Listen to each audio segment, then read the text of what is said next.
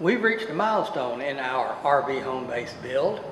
It's time for the barn raising of the new RV home base barndominium.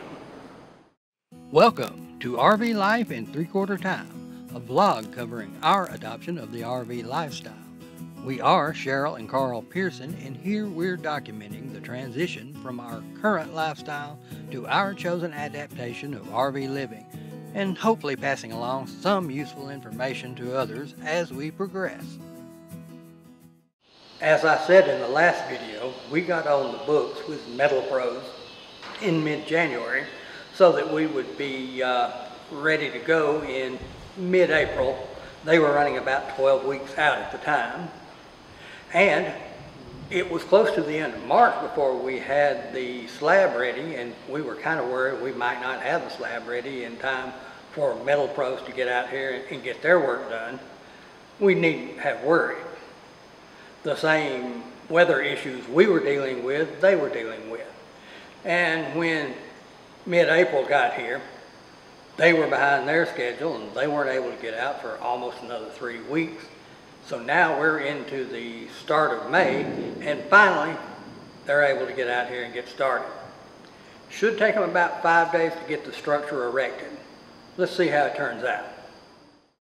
We were quite busy in the days leading up to the build, so it was late afternoon the day before things were to get started before I had a chance to back up the utility trailer and start loading the items we needed to provide for the exterior. What we were providing were the windows that we had acquired and painted black, an vent fan to be placed in the exterior wall of the garage area.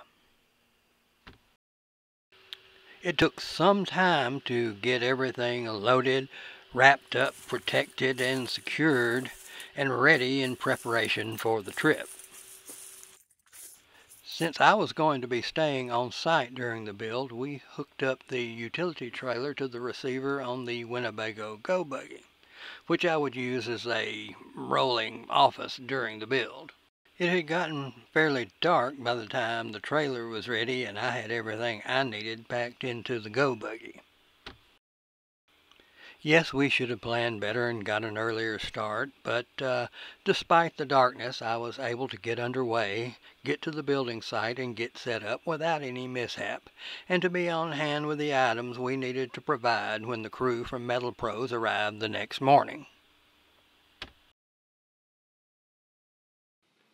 The next morning, I eagerly awaited the arrival of the Metal Pros crew. At this point, I was no longer retired. A recruiter had convinced me to take on a remote programming contract. To facilitate working while on site, we had an internet provider run a line to our power pole. I then installed a sealed blank face junction box to house the connection when not in use once the connection was run to the Go Buggy, I was able to set up office and work in comfort while viewing the build. Finally, the Metal Pros crew had arrived and started setting up. I was busy with my programming and wanted to stay out of the way of the crew, so I set up a camera on a tripod to take time-lapse shots of the progress of the barn raising. Let's take a look at the results. The work begins with securing the outlines of the structure to the concrete slab.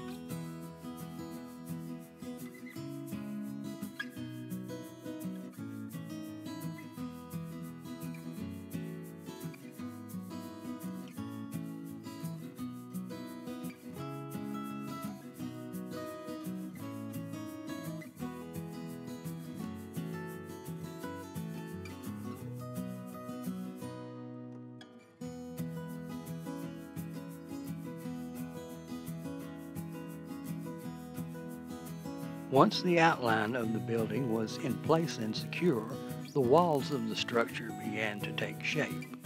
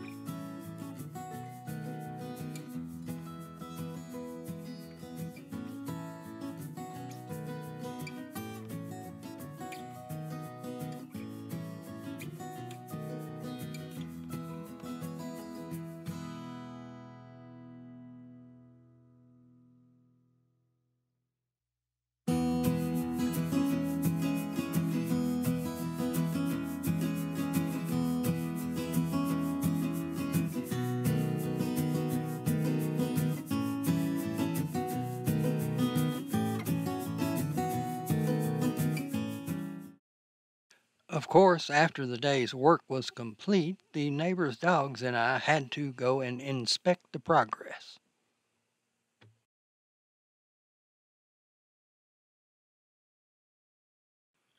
On the second day, work commenced considerably earlier than it had on the previous day.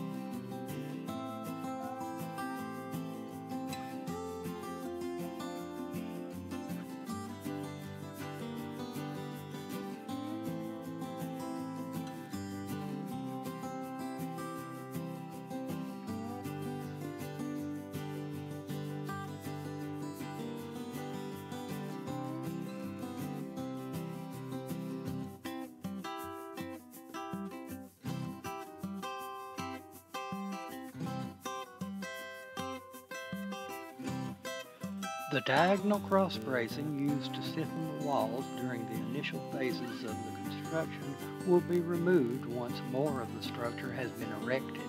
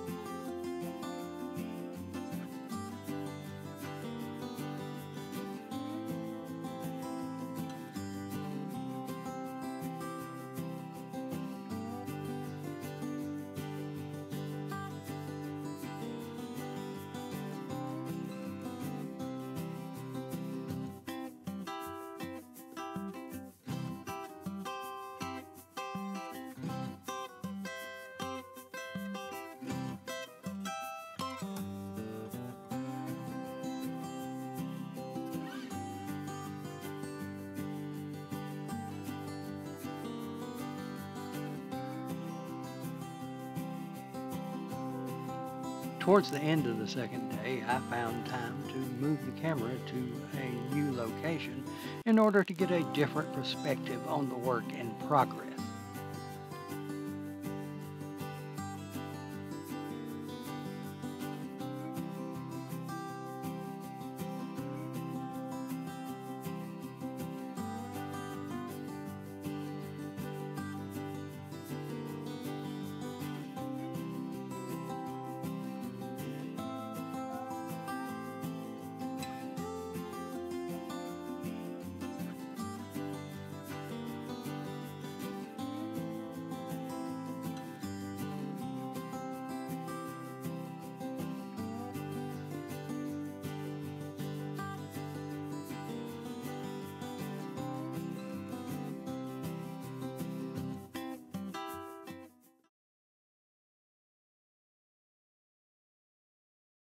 At the end of the day, due to the threat of approaching rain, we covered the materials we had provided with a tarp and then went to inspect the day's progress.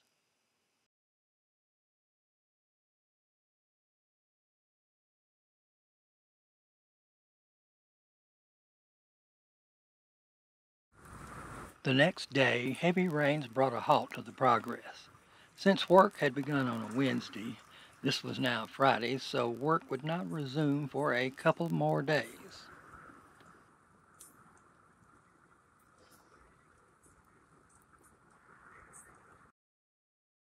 The barn raising day three activity commenced on a dark and overcast Monday morning.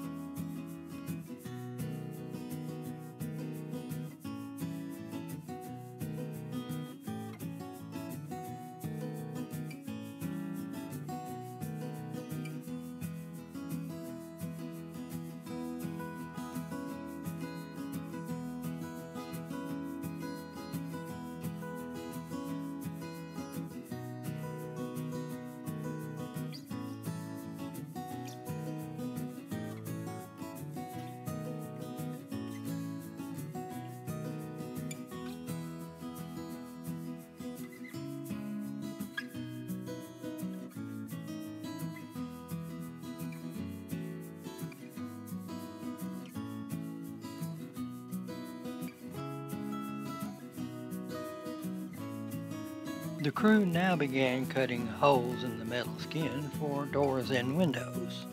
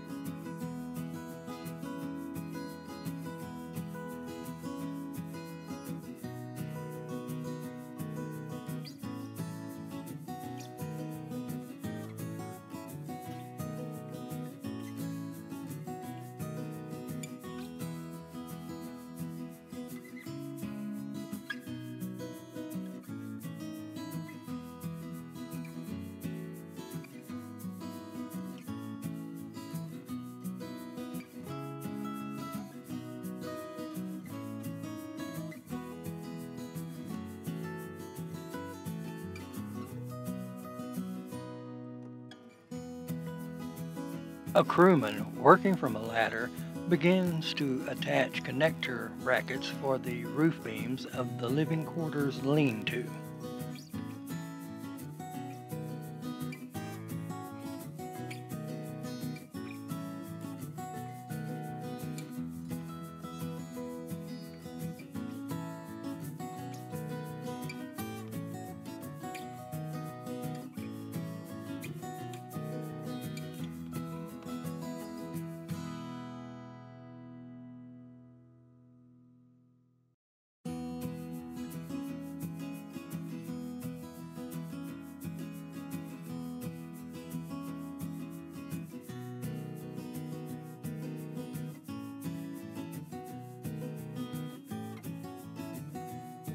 And finally, the walls of the living quarter begin to take shape.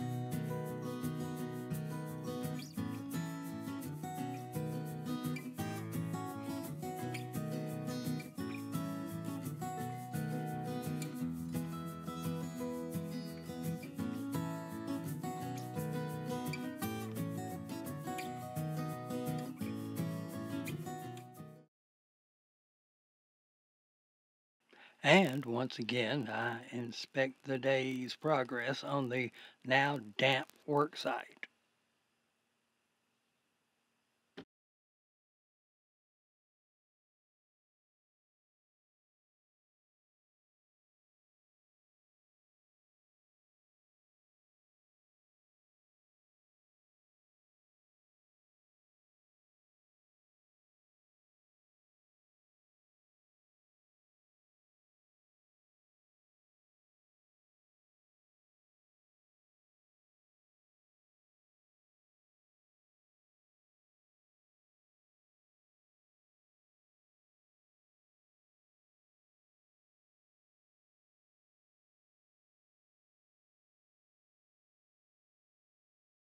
I'm not using the results from day 4, in part because there was an unpleasant color cast to the images from the day 4 build, but mainly because there were issues that arose during day four's work which had to be corrected on day 5. First, the kitchen window in the center of the living section was being installed in the wrong position. Next, the wainscoting on the front side of the building didn't match up with the wainscoting on the adjoining side. Turns out the slope of the roof over the living quarters lean-to was incorrect, so the skin would have to be removed, the frame adjusted, and then everything reassembled to correct the issue. That would make up a large part of the day 5 activities.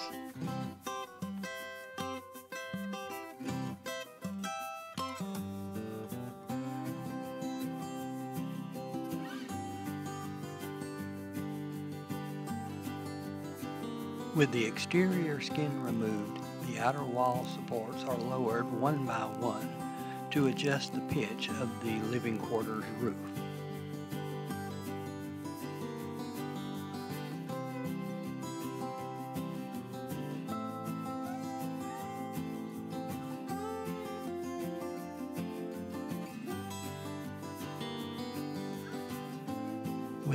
Pitch adjusted, work begins on replacing the exterior skin while others in the crew begin correctly framing out the kitchen window.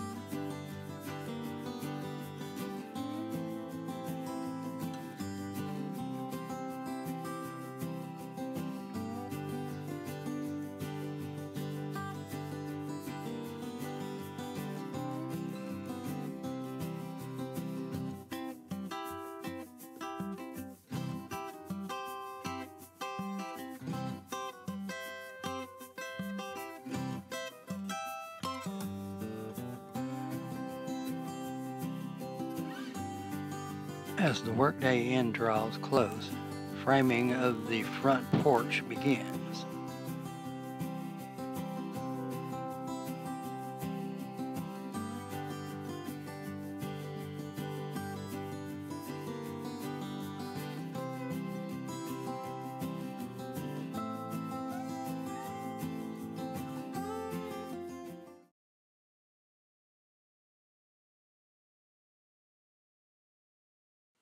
At day's end, the neighbor's dog and I inspect the progress, and I take some time to examine how the windows were trimmed on the exterior.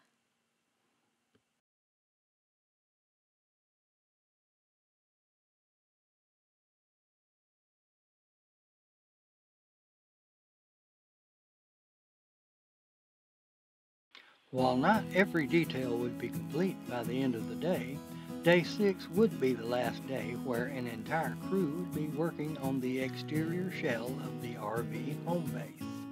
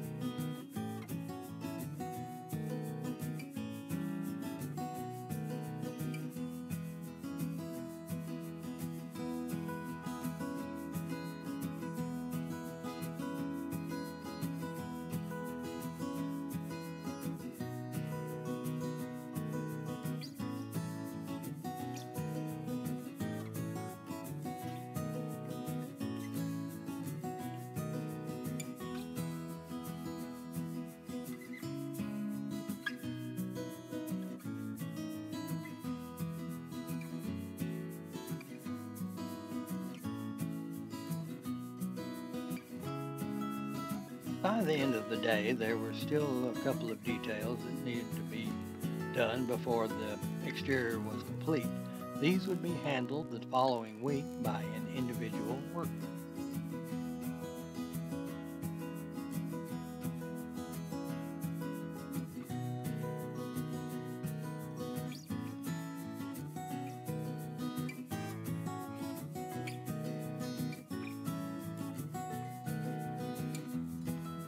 I really enjoyed the results.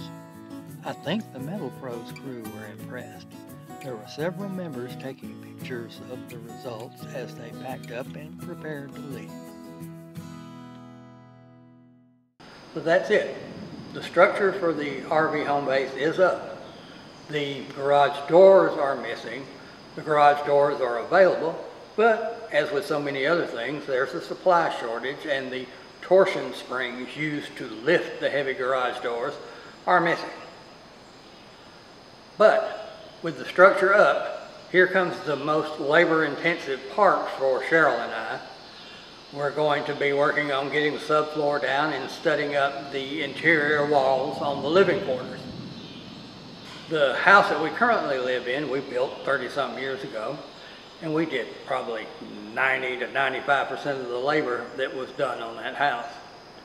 We're older, don't have uh, the stamina nor the patience to put up what we put up with 30 some years ago.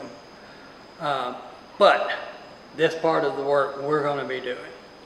So that's what we're going to look at next time. Carl and Cheryl will get to work on finishing the RV home base. While I enjoyed the experiment with stop action photography, I probably won't try it again. It just took too long to edit. The next video where we work on the interior of the living quarters should be out much more quickly. And until then, get out there and enjoy the ride.